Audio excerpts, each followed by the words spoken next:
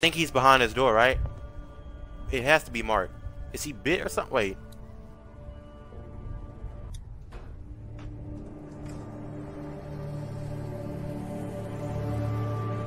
No way they fucking killed Mark.